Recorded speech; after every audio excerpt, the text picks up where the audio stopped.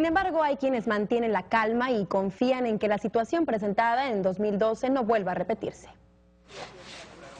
50 centavos al mayoreo es el aumento que el precio del huevo ha manifestado tras el nuevo episodio de la gripe aviar.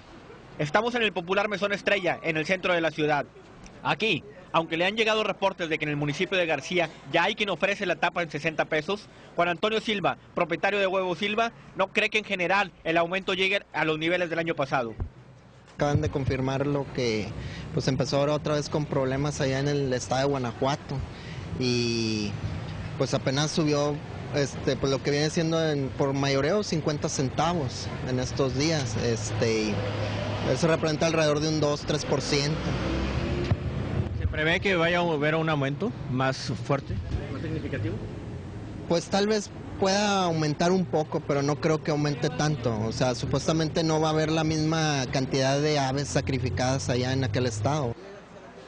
En el negocio ubicado entre las calles Espinosa y Colegio Civil, el letrero anuncia que se oferta 44 pesos la tapa de huevo, que el año pasado, tras el brote de la gripe aviar, alcanzó hasta 60 pesos en algunos lugares. Al menos aquí con nosotros tal vez algunos 50 pesos, tal vez, o sea, ojalá y no se presente, pues había habido una disminución en el precio, había estado, el programa pasado había estado bajando y ya se había empezado a estabilizar el precio, ya tenía algo de tiempo estable el precio. Con imágenes de Antonio Ayala, César Vargas, Noticieros Televisa.